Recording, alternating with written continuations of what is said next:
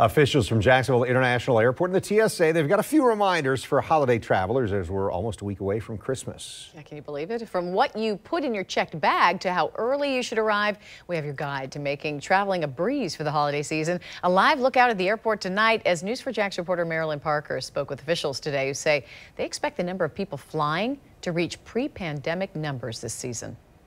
The flashlight? You're not going to get far with these items. Some saw blades, we have throwing stars. And don't forget our beloved wrench master. And these are all things that you guys have come across. Correct, yes. Some items are concerning. You know, it really makes you wonder what has crossed the mind of the person bringing this. Some items are for safety or even gifts, but they can't go in your carry-on.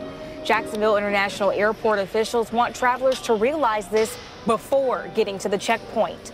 During 2021, TSA officers have stopped more than 5,000 firearms at checkpoints. 620 of these incidents have occurred in the state of Florida. 39 of the incidents occurred here at Jacksonville. We're told most of the time police will confiscate the item and arrest the person who had it.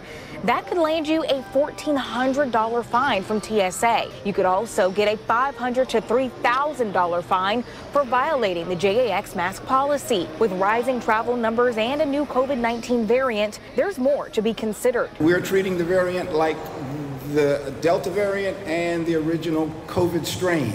One person who travels internationally says there seems to be a disconnect. Airlines can't really tell me much about the testing, and the testing centers can't really tell me much about the airlines. Do you think it would help if the airports had testing?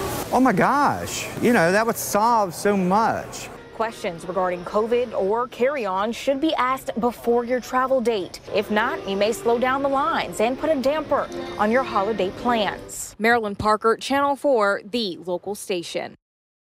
And another reminder for you, TSA says wrapped presents are not prohibited, but it's highly encouraged that you keep your presents unwrapped in case officers need to inspect them. So put them in a gift bag. Yeah.